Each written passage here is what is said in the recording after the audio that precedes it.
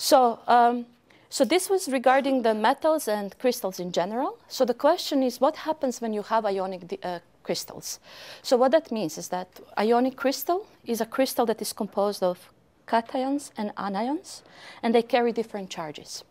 Overall, the crystal itself is uh, an, uh, uh, it's neutral, so there is no, uh, there is no charge that the, that the uh, crystal itself carries. And the ionic crystals in general are mostly insulators. So we will see that, for example, by changing the concentration of different types of defects, you can change the conductivity of these materials as well. You can change, for example, their color. But in general, if you form some kind of intrinsic defects to, uh, to keep the charge neutrality, you have to compensate one, part, uh, one type of a defect with another one. So we'll see that in ionic type of crystals, these intrinsic type of defects are typically happening in pairs or in different combinations of defects. So if I take one atom out or if I take one atom and substitute it in the crystal, I have to form another type of a defect to compensate for the charge that is associated with that. And for that reason, we will introduce Kroger-Vink notation, which will tell us how we typically describe these types of defects, and it will um, help us to identify instead of simply describing you have a, this vacancy, etc. This will be a very compact way of describing them and writing uh, reactions that happen uh, in these materials.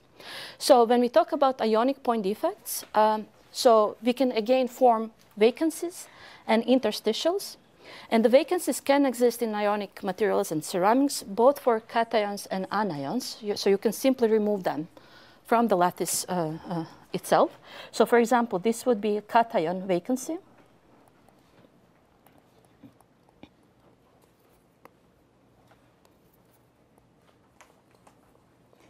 This would be anion vacancy.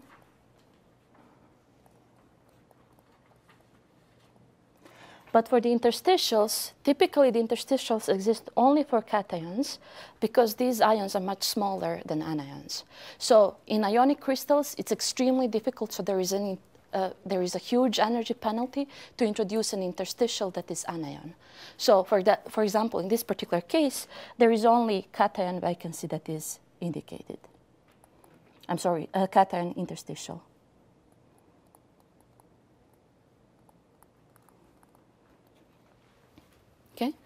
So again, everything is related to the amount of energy that is required to form this type of a defect, and this will tell you what is the probability of finding these types of defects in crystals. So I already alluded to the fact that if you form one type of a defect, let's say that you uh, remove one anion from this crystal, because it carries certain charge, you have to compensate that charge in the crystal to, to, to, keep the charge neutrality of the entire crystal. And for that reason, if I simply remove this, I have to form another type of a defect in the crystal to compensate for that. And there are two different types of uh, combinations that exist in ionic crystals. So it's called a Frenkel defect and Schottky defect. So a Frenkel defect would be a cation vacancy and a cation interstitial. So what that basically means that you remove one cation, but then you, you form an interstitial that is compensating for that charge. Where would be the example for, for that? Where would be a Frenkel defect in this particular image? Yes? The bottom. The bottom, yeah. So there is a missing cation here, but it's compensated here. So I have a vacancy of cation and also an interstitial. So this would be a, called a Frenkel defect. We will see in a couple of minutes that this is not necessarily a pair. So there might be multiple types of defects that are associated with that, depending on, again, what is the charge that you're replacing, etc. So it can be, a, so it's called a Frenkel group or a Frenkel type of a defect. It's not necessarily a pair only. Another type of a defect that can exist in ionic crystals is a Schottky defect. It's a pair of cation and anion vacancies, and it's indicated here. So there, is, there are two vacancies of the opposite charges, so this would be called, a, together, they would be called a Schottky defect. Okay, anyhow, so how do we describe this? So there will be, we will use a called Kroger-Vink notation, which will simply tell us, and it will describe a certain type of a defect and associated charge with that. So it will have a very general notation. So there will be a letter X, letter Y, and Z, and each of these letters have a specific meaning. So we will start with X. So the X itself represents what is on the site. So for example, if there is a vacancy, we will use a letter V, so this will be vacancy. Or it can be an atom, for example, oxygen atom, uh, calcium atom, etc. So I will show you a couple of examples. But if there is a letter V, it means that this is a vacancy. And the letters Y and Z will describe us what kind of... Okay, so the letter Y represents what type of site is occupied. So for example, we will see that um, this can be an interstitial, so this, we will uh, use a letter I. Uh, it can be an atom, etc. And then the, the, this symbol Z would simply tell us what is the charge. So we will see that we will have a positive charge, which is simply a dot. There will be a comma, which will be a negative charge. And if there is an X, it is a zero uh, relative uh, uh, uh zero charge. So this is also uh, listed here. So if you forget about this, so dot, comma, and, and the cross will correspond to the positive, negative, and zero charge respectively. So we will go through a couple of examples and we will see how we label these uh, different types of vacancies, interstitials, etc., etc., using the Kroger Vink notation. So if we, for example, start from uh, calcium chloride, so cation would be K, so this would be cation, and this would be my anion. So if I have a cation vacancy using the, this Kroger Vink notation, what would that simply uh, mean is that I have a vacancy. It's a cation vacancy, so it's potassium. And it carries what kind of charge? If I remove one positive ion, what would be the resulting? It would be negative, so I would use comma. So this would be simply the notation that will tell me that there is a cation vacancy in this particular crystal. Okay, so I can do the same thing. So I can do the anion vacancy. So this is the vacancy, chlorine atom, and it carries the positive charge. Uh, then cation interstitial. So again, I have potassium. It is interstitial, and because I'm adding one positive charge, it, is, it carries the positive net charge. And anion interstitial, again, chlorine atom, it's interstitial and carries a negative charge. So this is simply a way how we would write these types of defects inside of this particular crystal.